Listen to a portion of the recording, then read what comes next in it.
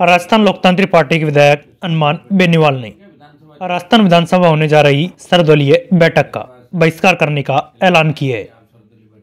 बेनीवाल ने कहा कि गहलोत, वसुंधरा दोनों मिले हुए और दोनों के नजदीकी अफसर यह सरकार चला रहे हैं। बेनीवाल ने यह मांग किया कि बीजेपी सरकार आरपीएससी संस्था को भंग करे। नहीं होना चाहिए, सीबीआई जाँच और लोकसभा तक मामला उठा यहाँ भी हमने आंदोलन किए। आरपीएससी का तंत्र भ्रष्ट हो चुका पूरा। पूरी आरपीएससी अखंड भ्रष्टाचार कर चुकी पूरी जो राजनीतिक नियुक्तियाँ हुई, और जिस तरह गहलोत के करीबी लोगों को आरपीएससी के अंदर चेयरमैन बनाया, जिस तरह कटारा जो मेंबर है जेल के अंदर है, और दुर्भाग्य देखिए कि कटारा जेल के अंदर फिर भी आरपीएससी का मेंबर है। और बार बार सरकार ये कह रही कि हम आरपीएससी को भंग नहीं कर सकते, संवैधानिक संस्था संवैधानिक संस्था का दर्जा दिया किसने?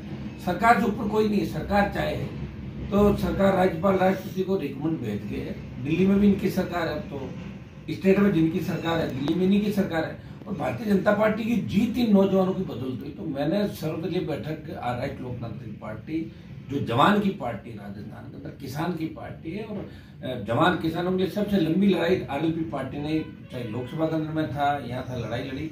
और मैंने ये निर्णय लिया कि मैं इस सर्वदलीय बैठक में इसलिए हिस्सा नहीं लूँगा कि आरपीएससी को भंग करे सरकार ये हमारी मांग है। आरपीएससी भंग करे कटारा सहित तमाम जो लोग हैं। तो कटारा ही नहीं हटा, जो जेल के अंदर है। आप बताइए किस तरह की बात ये लोग कर रहे हैं। राष्ट्रपति इनका, प्रधानमंत्री इनके, राज्यपाल इनका, सीएम इनके, सारी चीज़ें होने के बाद इस तरह, वही जो अफसरशाही राजस्थान के अंदर चली, जिस तरह की सूचियाँ आ रही है, वही गहलोत वसुंधरा के जो नजदीकी लोग थे, जो ब्यूरोक्रेट चला रहे थे राजस्थान को वही ब्यूरोक्रेट राजस्थान को चलाने के लिए कोई नहीं बात। और सीधा सीधा अब तो मुझे लग रहा है कि जो नेताओं की स्थिति बनी राजस्थान के अंदर, मुझे लग रहा है अधिकारी सरकार चलाएँगे।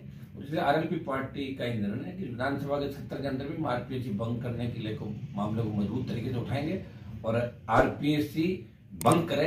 ये प्रमुख हमारा मुद्दा है आरपीएससी को राजस्थान की सरकार भंग करे और उसके बाद हाउस को चलाए, उसके बाद सदन चले, ये मेरी तरफ़ से मांग है।